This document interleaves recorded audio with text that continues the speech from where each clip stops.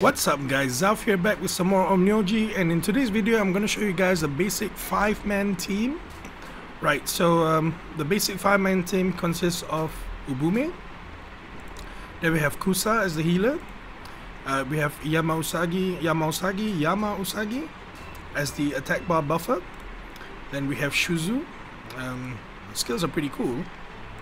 So what she does is this water circuit. She connects the water inside the bodies of all allies to form a circuit and the damage is shared among all interconnected units when any of the units receive damage. And interconnected allies' HP is also restored by 5% of Shuzu's HP after the ally's turn. So as you scale it up, um, the damage taken is reduced by 5 more percent and the duration of the circuit is increased by one more turn. After that we have our ever important lighter, the Zashiki. So what she does is um, she has this trade-off skill where she sacrifices 30% of her current HP to gain 2 spirit orbs. So orb management is very crucial in this game as the orbs are the one that allows you to do skills. So if you want to spam hack and slash from Ubume over and over again, you need to ensure that every time it's his turn, he has to have at least three spirit orbs. So we're gonna try this team out. I think uh, we're gonna do some souls. So let me just no no not souls sorry we're gonna do some evo mats so I'm gonna put this booster up so we're gonna look for evo materials any dungeons that haven't done stage 8 um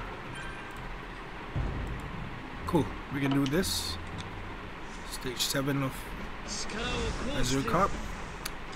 So as you can see, we have Kusa, we have Shuzu, we have Zashiki, we have Ubume, Kusa, and Yamausagi. Yamausagi, Yamausagi? I have no idea. Oh, let me just put this on manual. So basically what, what happens is um, we, we start off with the attack by buffer. Um, then uh, I use Seimei to protect. Then we use Shuzu to interconnect everyone. And now I'll trade off Zashikis. So now we have exactly three orbs for Ubume to hack and slash. Right? And then we have a healer to heal if needed.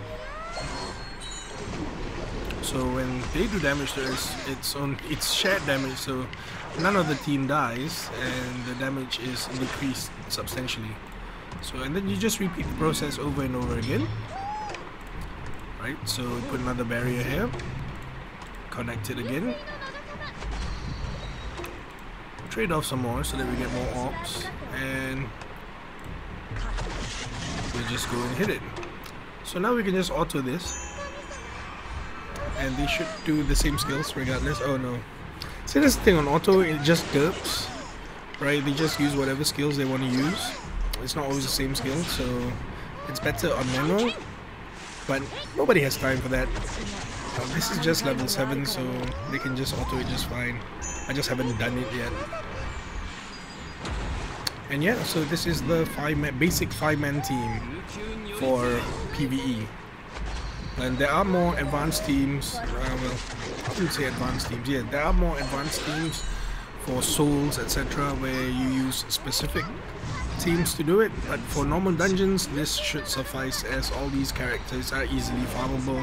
You can get them from the Demon Parade, you can request them from guild, uh, from the guild for the wish, and you can also you can also let me just show you guys here you can open up the chat go to system right and you can search around for it. Like there will be like you can see Shuzu here. Like people someone is challenging Shuzu and they're requesting others to join. You can just tap and join in. Obviously it depends on your luck to see whether the team is full or not. So um, you can get Shuzu there you can get uh, who else can you get there? I think you can get Shuzu there. And there will be some zones where you can get Zashiki and stuff so yeah uh, that's it for the basic five men